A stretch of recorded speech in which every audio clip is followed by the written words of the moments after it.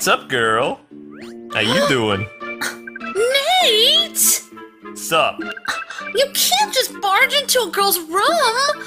Did you get lost or something? Yes. I got lost in my heart. Uh, I mean, sorry. what is wrong with me? It's called adolescence, boy! When a man and a girl meet, it is love. Nate, what are you still doing in my room? Primary school love. You have cooties! I'm looking for ghosts. Oh. And I'm spraying cooties everywhere. No! Cootie Ray! Aha! Well done, Nate. The cooties have been spread. But touch the remote again. Good boy. I can't believe you can't wash your hands. I'm being possessed by a yokai. That's why I did all that stuff.